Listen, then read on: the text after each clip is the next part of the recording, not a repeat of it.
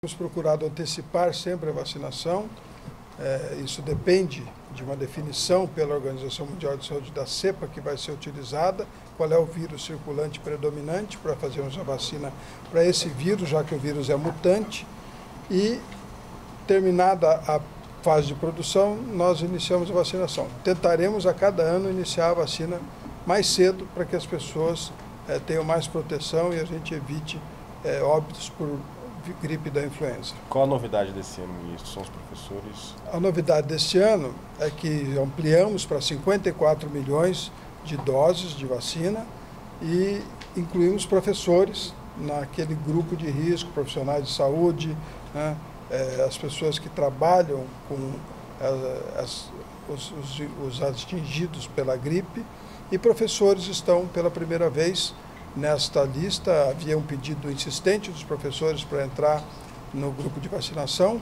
Então faremos nos dias 2 e 3 de maio a vacinação dos professores na escola, conforme acordado com o ministro Mendonça Filho. A motivação de incluir os professores é, são é, exatamente os pedidos, a demanda que eles, que eles trouxeram? É, os professores sempre solicitaram incluir, serem incluídos nesse grupo preferencial e, claro, pelo fato de que eles têm contato com dezenas de alunos diariamente e estão mais expostos também a, a essa contaminação. Então, esta é a, esse é o motivo da inclusão dos professores e que fizemos é, com muita alegria, porque entendemos que, de fato, é um grupo preferencial.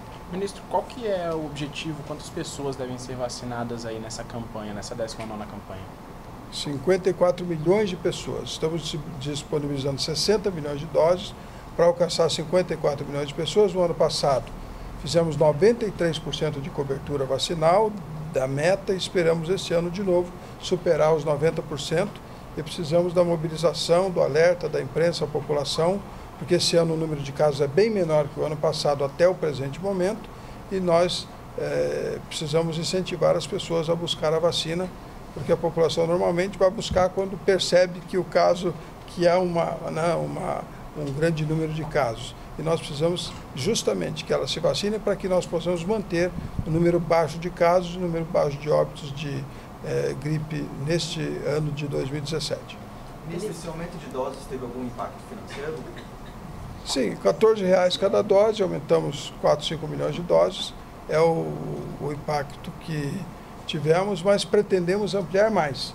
É, nós já gostaríamos, no ano que vem, de ter 80 milhões de doses de vacina, mas não conseguimos estabelecer capacidade de produção.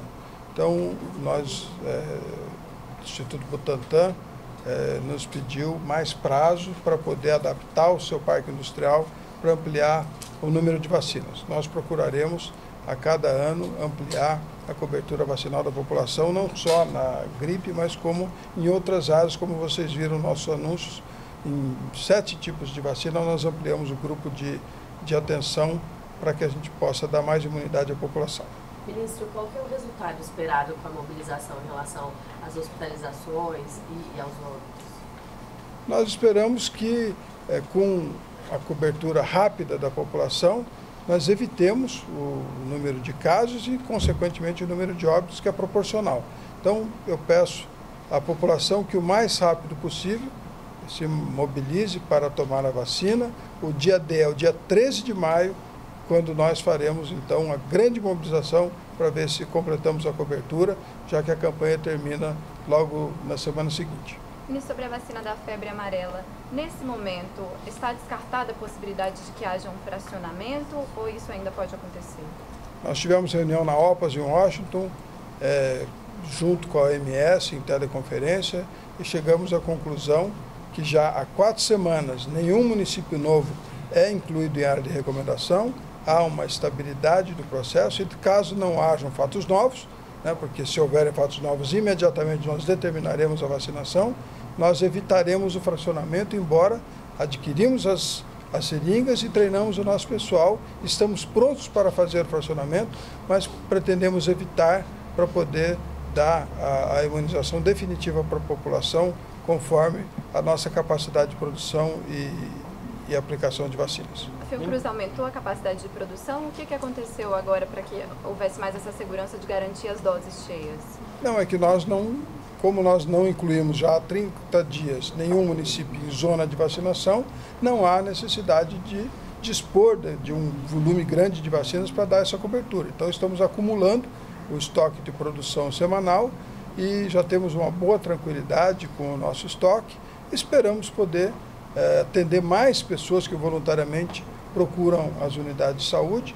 Já 4 milhões de brasileiros se vacinaram em áreas de não recomendação por busca espontânea. Nós queremos dar a tranquilidade à população, mas, se possível, evitando a vacina fracionada, que é utilizada em caso de epidemia e que eh, não está recomendada, não é o caso do Brasil nesse momento. Ministro, ainda sobre a gripe, há alguma estratégia especial para vacinar os indígenas? Eles estão no grupo de, de risco, estão nesta, nesse grupo que deve ser vacinado, e nós fazemos anualmente a vacinação dos indígenas, deslocando inclusive as equipes e as vacinas por avião, helicóptero, em toda a região amazônica, nos contratos que a nossa Secretaria de Saúde Indígena já tem para o atendimento emergencial dos índios em todas as regiões do Brasil.